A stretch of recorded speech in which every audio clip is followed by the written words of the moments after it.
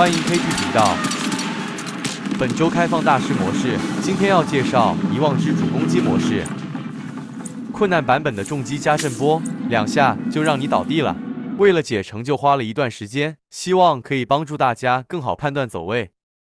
依序介绍攻击模式：重锤加震波，手臂会发出红色光芒，随后重锤地面，再发产生地震波，跳跃可以闪过。后续攻击手背红色光芒位置。场地分为左中右，左中侧他惯用左手，打击点大多都在场地中央，实测后蓝点位置，可免伤并快速反击。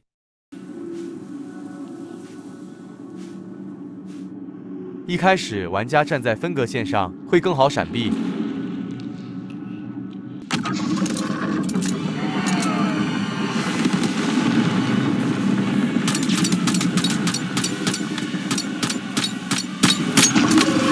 挥手扫场地，手掌心发出红色光芒。左边挥手入镜，人物走到右侧区域不会被攻击到。如果闪不掉，只能扛下伤害。这里建议玩家摇篮要选优势屏障，弱点击败或换弹，获得百分之三十生命值护盾。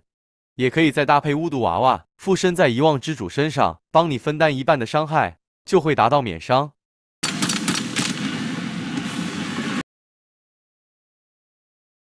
抱头痛哭，前置动作，手捂着脸，脸部出现弱点红色光芒，哭泣落下污染花苞。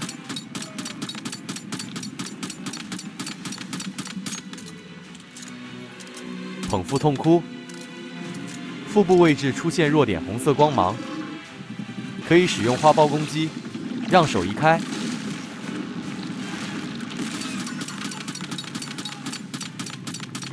每损血三分之一的时候，会开始破坏场地，并召唤小怪。当它消失的时候，玩家会红色光芒追踪，期间可以清除小怪。走位点可以参考图片。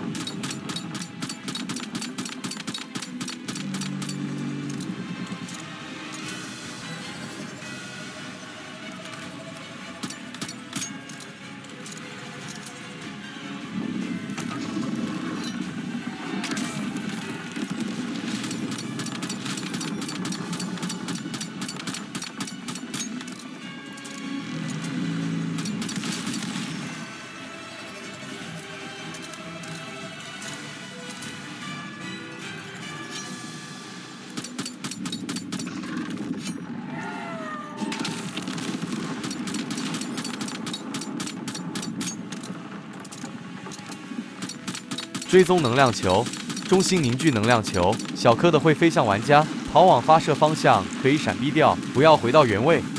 大颗能量球会飞向玩家起始位置，血量剩下六分之一的时候，会先痛哭，然后场地上出现光束，这段时间本体不会攻击，专注闪避地上红色光芒区域。闪避之后，留意本体否发出其他光芒。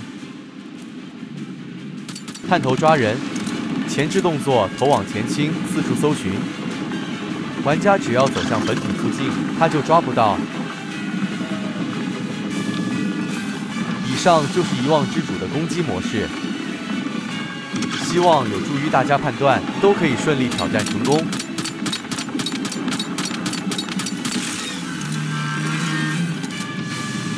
感谢您收看本次影片。如果觉得影片对您有帮助，欢迎在下方按赞、开启小铃铛。